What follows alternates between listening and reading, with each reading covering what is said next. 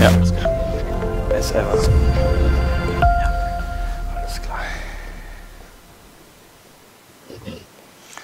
So, damit herzlich willkommen an dieser Stelle, liebe Zuschauerinnen, liebe Zuschauer. Schön, dass ihr soweit reingeschaltet habt zu unserem heutigen Morning Call. Wir haben einige Themen, die auf jeden Fall heute noch tiefer bei uns ähm, ja, auf der Agenda stehen. Zum einen wollen wir ganz klar den DAX uns etwas heute genauer anschauen, nachdem wir schon gestern doch recht gut gelaufen sind. Ähm, Auslöser, Arbeitsmarktdaten, die wir am Freitag bekommen haben, das lässt natürlich wieder so ein bisschen, äh, bisschen die Hoffnung schüren, dass die ähm, ja, Zinsen möglicherweise doch vorzeitig gesenkt werden können, so zumindest die Marktreaktion. Des Weiteren haben wir auch noch die Disney. Und zwar bringen wir da oder bekommen wir heute da Zahlen raus. Und in diesem Zusammenhang wollen wir uns natürlich auch die Netflix etwas genauer anschauen. Ja, und ganz wichtig, MicroStrategy, den Bitcoin werden wir uns auch nochmal anschauen. Last but not least werden wir auch nochmal auf die Tesla näher darauf eingehen. Elon Musk hat gestern auch da nochmal einen ja, Tweet soweit abgesetzt, äh, was das äh, Model Y betrifft, mit der Reichweite, möglicherweise auch für uns weiterhin sehr interessant. Warum? Weil wir haben das ja schon in den letzten äh, Tage oder in der letzten Woche besprochen, dass wir möglicherweise auch da einen äh, Trade planen. Aber alles weitere dazu besprechen wir dann jetzt gleich bei uns in der Sendung. Bevor wir aber starten, ganz, ganz wichtig, abonniert den Kanal und lasst ein Like da, aktiviert die Glocke, falls ihr kein Video mehr in Zukunft verpassen wollt und stets die neuesten Videos äh, bei euch mit angezeigt bekommen haben möchtet, so dass ihr dann auch immer bei uns mit regelmäßigen Content weiterhin versorgt werdet, wenn euch unser Content entsprechend soweit gefällt. An dieser Stelle erstmal herzlich willkommen, lieber Andreas. Buongiorno, lieber Samir. Kaum warst du zwei Tage nicht da, steigt der Markt wieder. Ja. Andreas. Wie Ja. kannst du dir das erklären? Ich kann mir das so erklären, weil ich war ja zwei Tage nicht da und habe dann äh, auch noch ein paar Zertifikate gekauft und ihr werdet es nicht glauben. Auch die sind gestiegen. Also es ist immer ganz gut, mal ein paar Tage nicht da zu sein, vorher was zu kaufen und dann wieder zurückzukommen. Jetzt habe ich so ein bisschen die Befürchtung, kaum bist du wieder da, könnten die Märkte wieder ein bisschen schwach werden. Ja, Ach, so. das glaube ich nicht. Ja, glaubst du nicht. Ja, Das glaube ich nicht. Genau, wir wollen mal schauen, wir haben äh, am Freitag Andreas Arbeitsmarktdaten bekommen, die sind etwas ja, schwächer ausgefallen als erwartet. Ja. Das ist ja so das Ziel der Notenbank, dass man den Arbeitsmarkt so ein bisschen leicht schwächen möchte, um die Inflation so ein bisschen weiterhin zu drücken. Die Märkte haben daraufhin doch recht positiv reagiert. Dow Jones hat dann auch zwischenzeitlich wieder ordentlich zugelegt. Nasdaq hat deutlich zugelegt. Der DAX ist jetzt wieder auch so um der Marke knapp bei 18.200 Punkte. Wie sieht es jetzt beim Chart im DAX aus? Gestern habe ich meinen Senf hier persönlich abgegeben. Wie sieht dein Senf aus? Ja, also äh, erstmal äh, sind wir wieder an eine Marke rangelaufen. Sieht bisher positiv aus. Man muss natürlich mal ein wenig vorsichtig sein, wenn solche Bewegungen aufgrund von solchen Meldungen kommen. Das ist übrigens natürlich sowohl als auch. Das heißt, wir haben ja beim letzten Mal zu positive Daten für eine Zinssenkung bekommen. Jetzt haben wir mal 0,1 Prozent höhere Arbeitslosenquote. Kaum ist das so, sagt der Markt, das ist ja, dann ist ja alles in Butter. Also ich bin da ein bisschen skeptisch, muss ich ganz ehrlich sagen, ähm, zumal wir ja immer noch auf die Geopolitik achten müssen. Da braucht sich scheinbar doch auch wieder ein bisschen was zusammen, äh, was wir auch an leider in Rüstungsaktien zum Beispiel sehen.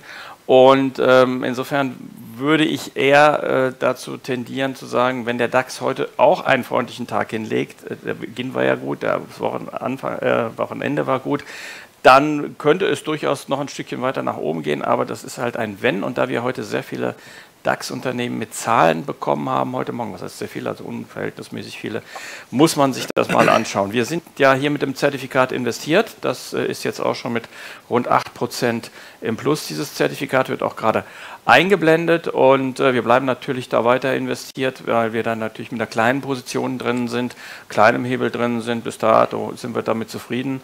Äh, Kennnummer ist UL7SJP, der Hebel 5,3. Knockout-Schwelle weit, weit entfernt, 14.906 und äh, wir, wie gesagt, bleiben da erstmal investiert. Genau, weiterhin interessant in diesem Zusammenhang äh, kleinerer Hebel, das hatten wir in der letzten Woche besprochen. Wir haben ja in diesem Jahr einiges soweit umgestellt. Das Depot kann sich auf jeden Fall ähm, äh, stark blicken lassen, 22 Prozent seit Jahresanfang. Ja. Und roundabout, glaube ich, über 40 Prozent seit November. Also unsere Trades laufen da wirklich sehr gut. Wir haben auch äh, entsprechend ja einiges an strategischer Ausrichtung äh, uns soweit überlegt und auch dementsprechend uns ähm, dem Markt angepasst.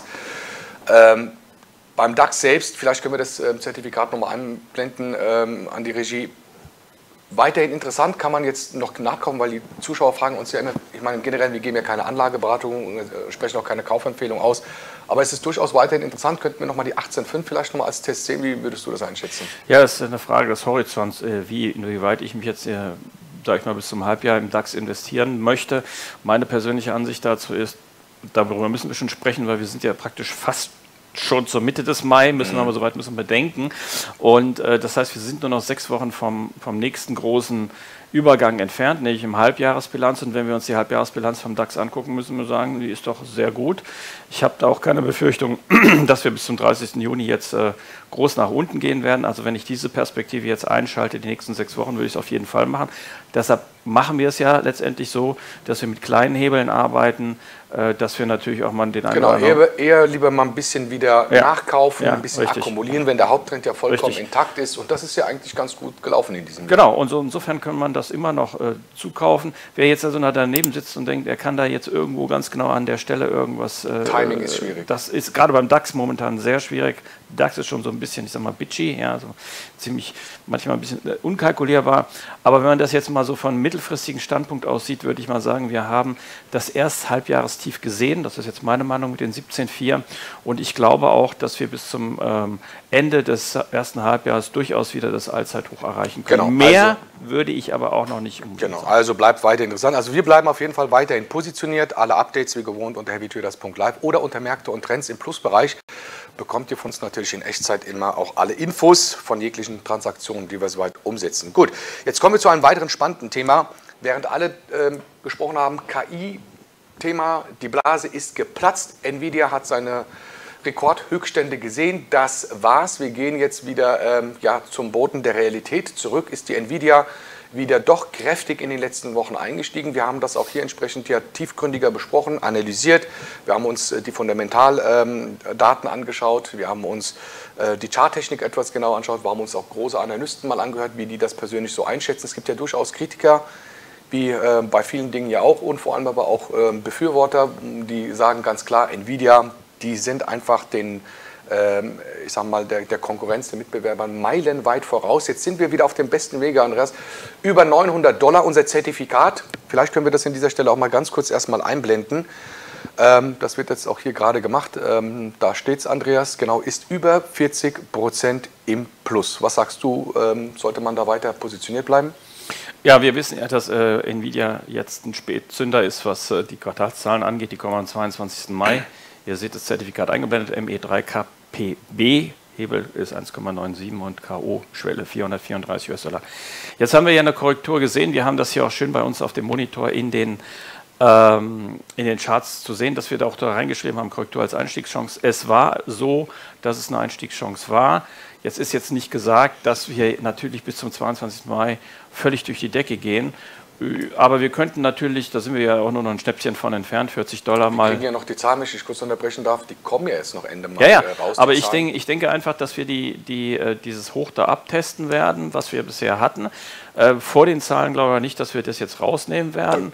Also 41 Prozent, das wäre tatsächlich, nee, ich meine, dass wir das, das, wäre, das wäre tatsächlich, was wir auch mit jetzt besprechen. Also 41 Prozent, da sollte man doch schon überlegen, wo man sagt, komm, in Klammern, scheiß drauf, 41 Prozent ist 41 Prozent. Moment, gut zu hören, ich wollte jetzt eigentlich von der Aktie ja. was erzählen, nicht vom Zertifikat. Das Zertifikat ja. kommt ja gleich noch da. Klar sind wir 41 Prozent im Plus. Und das ist, was ja. du gerade angesprochen hast und was ich ja auch gerade bestätigt habe, dass ich nicht glaube, dass wir vor den Zahlen, die ja noch rund zwei Wochen entfernt sind, äh, dass wir da, oder ja, zwei Wochen genau, äh, dass wir da schon über das Allzeithoch drüber gehen. Das heißt, äh, wir werden da nochmal abprallen, da bin ich mich fest von überzeugt. Insofern werden wir das Zertifikat mhm. natürlich glattstellen mit diesem Gewinn, den wir da haben. Wir suchen uns dann natürlich heute einen Zeitpunkt aus, denn noch ist der Trend ja aufwärts gerichtet. Warum sollten wir jetzt in einen aufwärts gerichteten Trend rausgehen? Natürlich verkauft man nicht am Hoch, aber man verkauft in den laufenden Aufwärtstrend rein. Da wir jetzt drei grüne Kerzen haben, gehe ich mal davon aus, dass noch eine vierte kommen wird. Dann werden wir die Position glatt stellen und dann werden wir uns natürlich auch überlegen, ob wir zum Beispiel zu den Zahlen, vor den Zahlen, nach den Zahlen wieder reingehen. Also ich glaube schon, äh, dass wir auch ähm, das Hoch äh, sehen werden. Ich glaube auch schon, dass wir die 1000 Dollar rausknacken werden. Ich, ich denke auch schon, dass wir so die 1100 Dollar sehen werden. Ja, das glaube ich ähm, alles auch, aber nicht genau. vor den Zahlen. Die 1000 Dollar? Glaube ich nicht vor den Zahlen, dass wir die rausnehmen. Also ich sage, wir sehen es vor den Zahlen. Gut. Mach das. Gut, dann gehen wir weiter. Bitcoin gestern ähm, knapp 65.000 US-Dollar. MicroStrategy hatten wir immer wieder besprochen. Auch da ähm, haben wir uns äh, einen, ja muss man ja sagen an dieser Stelle, einen strategischen Schachplan, äh, Schlachtplan ja überlegt, mhm. wie wir das schaffen, obwohl wir einen Hebel ein bisschen was über 1, also über 1 rausgenommen haben. Die Aktie hat ja wirklich von seinem Hoch knapp bei 2000 US-Dollar deutlich abgegeben. Ich glaube mhm. 1200, 1300 US-Dollar wo wir gesagt haben, ja, ganz, ganz wichtig, kleine Positionsgröße, kleiner Hebel, weil die Aktie an sich schon recht volatil ist, dass man da nicht einfach unter Druck gerät. Und äh, ja, die MicroStrategy hat ja dann irgendwann mal deutlich korrigiert. Äh, eigen, äh, einige ähm, ja, große Hedgefonds, Shortseller, die sich da sozusagen vergnügt haben an der Aktie, die dann auch deutlich abgegeben haben. MicroStrategy hat ja dann Zahlen auch rausgebracht. Ich habe im Übrigen gestern auch einen mega, mega, mega tollen Vortrag äh, von Michael Saylor gehört, klar er möchte ja sein Unternehmen auch entsprechend mehr und mehr an Bitcoin adaptieren, mhm. dass es praktisch letztendlich physisch eins zu eins äh, umgesetzt wird. Aber natürlich in diesem Sinne ist es ja ganz gehebelt. Ähm, Bitcoin nach der kräftigen Korrektur von 23 Prozent, gute Chancen wieder zu einer technischen Erholung? Fragezeichen. Ja, wobei äh, man natürlich dazu sagen muss, äh, dass die Erholung, wie du richtig gerade gesagt hast, sehr kräftig war. Die Aktie eben von dem Tief dort auch fast 30 Prozent zugelegt hat was, äh, wenn man gute äh, physische äh, Konsistenz hat, also Konstitution hat, man auch mit überleben kann. Ne? 30 Prozent in drei Tagen hin und zurück, da muss man schon sportlich dabei sein. Man muss Nerven bewahren, was wir ja auch getan haben. Ähm, auch äh, vor allem in Schwächephasen dann reinzugehen. Ähm, wir sind ja mit diesem Zertifikat ganz klar gesagt noch immer leicht im Minus. Ähm, aber eben aus dem Grunde haben wir natürlich in Schwächephasen auch nachgekauft und äh, wir gehen schon davon aus, das äh, ist genau noch immer der Schlachtplan mit dem Bitcoin, dass der Bitcoin die 100.000 Dollar in diesem Jahr überschreiten wird, beziehungsweise zumindest mal sehen wird. Ähm, und diese Rallye-Phasen nach einem Halving, die dauern ja rund ungefähr ein bis eineinviertel Jahre an. Das heißt, äh, das, die eigentliche Rallye, die kommt ja jetzt erst noch und die werden wir natürlich auch in der Aktie sehen.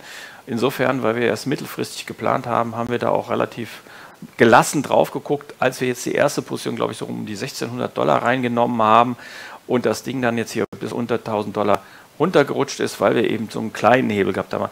Der, die Alternative ist natürlich zu einem Zertifikat mit so einem kleinen Hebel, ist, dass man gleich die Aktie kauft, aber da muss man ein bisschen Kleingeld mitbringen. Und das Vorteil beim Zertifikat ist, dass du mit wesentlich weniger äh, Kapital hier dabei sein kannst. Und das ist ja der Sinn der Sache, dass man sozusagen die ähm, Bewegung mit kleiner Investition begleitet. Das machen wir auch weiterhin. Und wie du richtig gesagt hast, wir werden es wahrscheinlich auch noch ein bisschen aufstocken. Ja, genau. Also am besten blenden wir nochmal das Zertifikat an von der MicroStrategy. Also da werden wir auf jeden Fall nach der Sendung ähm, weiterhin akkumulieren. Das heißt, wir werden weiterhin kaufen. Das wird kurz mal eingeblendet. Wertpapier Kennnummer Martha Emil 6 Z3Z. Da steht es auch oben, Nachkauf geplant, der Hebel 1,4 und da werden wir auf jeden Fall weiterhin aufstocken und die MicroStrategy auch weiterhin ja, die Position aufbauen. So viel erstmal auch zu dem Zertifikat. Weißt du, was ich auf jeden Fall sehr interessant fand? Der Michael Zähler hat ja gar nicht mal so unrecht mit einer Aussage. Er sagt, es gibt zwei Szenarien beim Bitcoin. Kennst du die zwei Szenarien? Ja, ja, die hast du schon wieder. Nee, nee, das, ja das, das, ist ja das Risiko. ich rede, das größte Risiko beim Bitcoin ist ja, wenn du, dass du gar kein Bitcoin hast. Das ist erstmal das größte Risiko, was du haben kannst. Aber die zwei Szenarien, die sind noch besser. Entweder es geht auf Null beim Bitcoin oder ins Unermessliche. Also ja, aber da hat er wahrscheinlich. Es gibt ja nur die zwei ich, ich glaube, da hat er fast schon bei Warren Buffett ausgeliehen, ne? weil das hätte er auch wahrscheinlich gesagt. Entweder das Ding geht gegen die Wand, die Firma, was er auch sehr oft jetzt schon erlebt hat mit seinen Investitionen, oder es wird halt äh, eine neue Microsoft oder sowas in der Richtung. Und es ist klar, du hast ja äh, immer nur. jetzt äh, MicroStrategy? Oder? Nein, ich meine jetzt äh, Warren Buffett mit dieser Aussage, weil das ist ja Warren Buffett so. eigentlich so halb auf der Ecke. Und das kannst du ja für jede, jedes Unternehmen sagen. Wenn du zehn Unternehmen hast, wo ich sag mal eine Million reingehauen hast und die gehen alle pleite, du hast aber dann ein Unternehmen, wo du eine Million drin hast und das ist der Burner. Und sagen wir mal, da machst du dann 200 Millionen Gewinn, was ja durchaus möglich ist über einen längeren Zeitraum, wie Warren Buffett das auch gemacht hat, dann kann er alles, ist ja alles okay. Also maximal 1% der Weltliquidität, wenn man so möchte, oder auch der Weltbevölkerung ähm, ist da noch nicht mal annähernd in Bitcoin positioniert. Mal schauen, wie es kommen wird. Da müsste man eigentlich wieder schon äh, eine eigene Sendung daraus machen. Aber schreibt es einfach mal in den Kommentaren. Was denkt ihr? Bitcoin null oder unbegrenzt nach oben raus? Wir freuen uns natürlich auf jegliches Kommentar. In diesem Sinne, bleibt dran. Wir sehen uns dann heute Nachmittag bei uns dann im Märkte und Trends Teil 2 unter heavytraders.live. Am besten kostenfrei registrieren, dann seid ihr auch hier im Livestream mit dabei. Ansonsten Kanal abonnieren, lasst ein Like da und wenn Fragen sind, ein Kommentar. Glocke aktivieren für die nächsten kommenden Videos. Bleibt dran, bis demnächst. Genau, bis gleich.